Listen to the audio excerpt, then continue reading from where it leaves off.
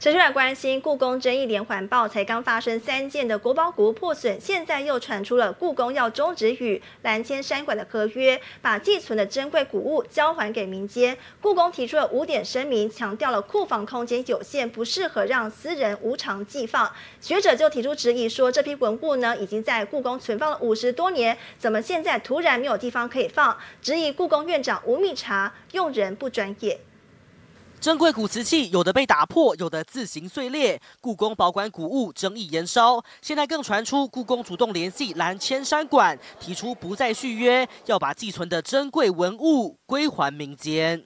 全台湾除了故宫，不可能有第二个地方，它能够有这么多的人力物力，能够呢把这些珍贵的人物做仔细的研究。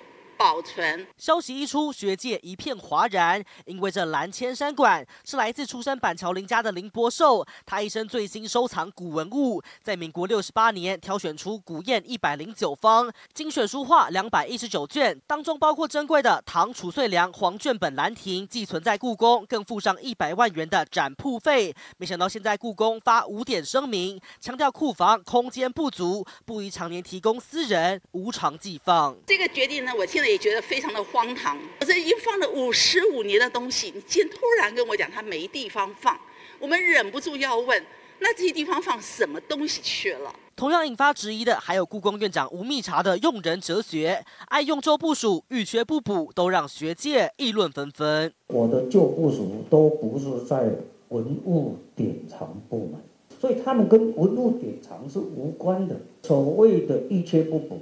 保留一些原额，让我的同仁可以升等。尽管吴密察院长替自己辩驳，但从典藏文物被毁，现在又顿然决定让珍贵古物回归民间，不止恐怕一失，也让国人无缘一睹风采。记者林晨杰、黄伟才特别报道。